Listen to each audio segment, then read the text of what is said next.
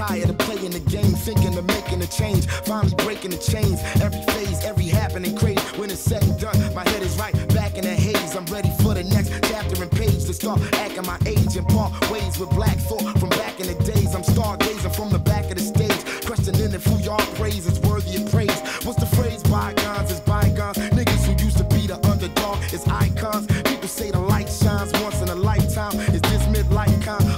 just a little bit like mine. I'm thinking not now, but